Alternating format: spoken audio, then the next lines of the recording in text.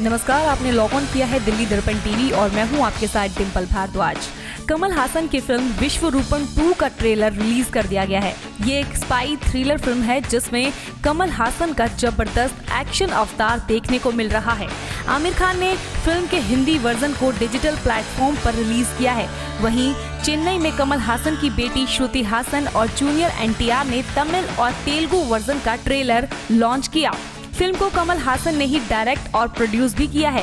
Film में कमल हासन, राहुल बोस, पूजा कुमार, शेखर कपूर, वाहिदा रहमान है। Film का पहला भाग साल 2013 में आया था। फ़िल्म में कमल हासन के अलावा राहुल बोस और पूजा कुमार भी मुख्य भूमिका में थे। 100 करोड़ के आसपास के बजट में बनी फ़िल्म ने 200 करोड़ से ज़्यादा की कमाई की थी। फ़िल्म विश्व रूपम भाग दो का बजट 120 करोड़ के लगभग है। पहले ये फ़िल्म 26 जनवरी को रिलीज़ होनी थी, लेकिन बाद में इसकी रिलीज़ डेट को टाल दिया गया। अब ये फ़िल्म 10 अगस्त को रिलीज़ होगी।